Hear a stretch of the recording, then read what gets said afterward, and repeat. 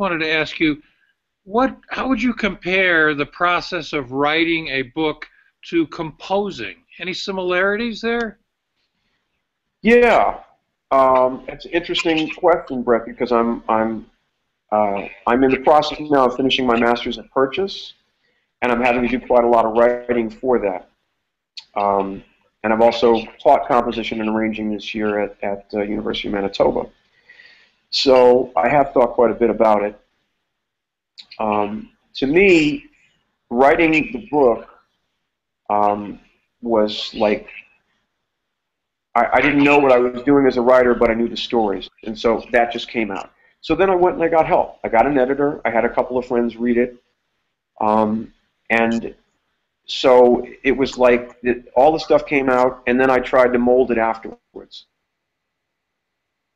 Um, I think it's really important for jazz musicians.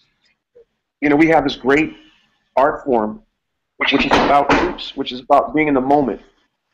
And um, so, but composition and arranging gives us a chance to actually shape and mold things in a different kind of way.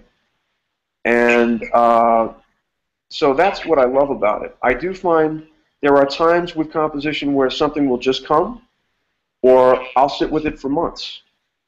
Um, and so, for me, in that respect, it's the process is much more diverse. It can come like that, where you get a song and you have an idea and you just go.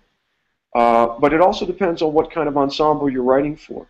Um, I've got some um, some things coming up. Um, well, for example, I'm doing something at the Winnipeg Jazz Festival this summer.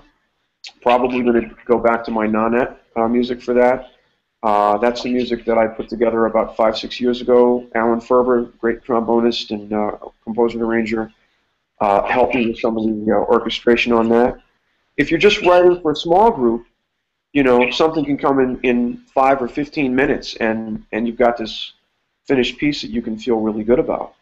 Um, if you're writing for a different context, um, say you're writing for a big band or strings,